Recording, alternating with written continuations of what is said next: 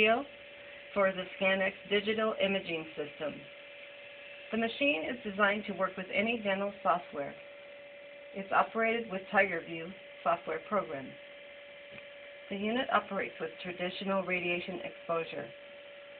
After exposing your film,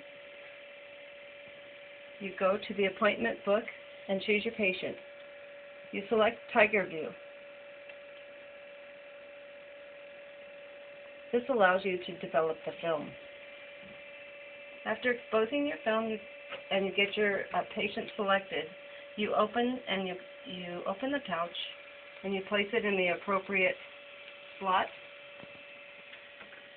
like so, and press.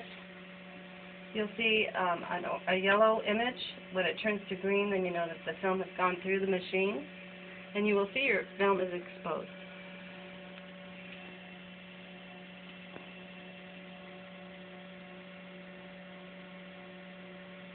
Once you have viewed the film, you can choose to alter and then to save the film.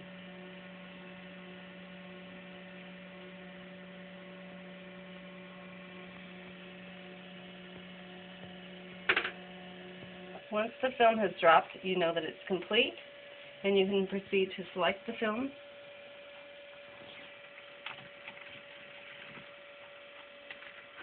And then to save the film.